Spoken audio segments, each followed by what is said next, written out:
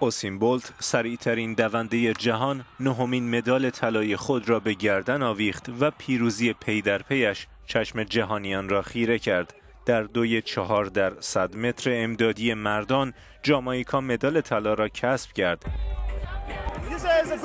اوسین بزرگترین قهرمان در همه دوران هاست. او جامایکا را در جهان مطرح کرد. تنها کسی که به یاد دارم چون این تأثیری بر جامایکا داشته شاید باب مارلی باشد. ما به آنان افتخار می‌کنیم.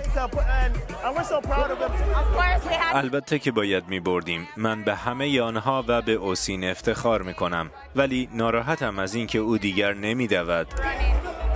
صدها تن از شهروندان جامایکا در ریو که یک شب پیشتر قهرمانی اوسین بولت را در رشته دوی دویست متر مردان جشن گرفته بودند باز هم در دهکده المپیک پایکوبی کردند.